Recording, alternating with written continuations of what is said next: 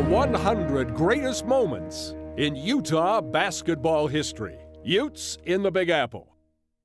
In 1947, the National Collegiate Basketball Champion was crowned in Madison Square Garden. We're in Madison Square Garden in New York City, in cooperation with the University of Utah, is mighty happy to bring you that exclusive play-by-play account of the finals in the 10th Invitational Basketball Tournament between the Utes of the University of Utah and the University of Kentucky. The highly favored Wildcats were number one seed in the NIT, the Utes, the number eight seed, and had won their first game with Duquesne by only one point.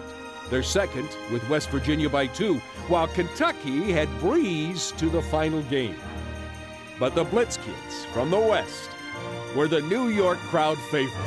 Coach Vadal Peterson used only six players Leon Watson, Vern Gardner, Wat Misaka, Arnie Ferrin, Fred Weidner, and Lyman Clark. Down together and it's stolen away by Misaka. Here's Misaka on a quick break, dribbles down. But once he gets into Utah territory, he stops, holds it up, waits for Ferrin. Here's Ferrin's push shot in. While Ferrin and Big Vern shared offensive chores, it was the defensive play of Wat Misaka that captivated the crowd. Wat held Kentucky's leading scorer, Ralph Beard, to just one point as Utah won by four, 49 to 45. Vern Gardner, the MVP, and the Big Apple belonged to the Utes.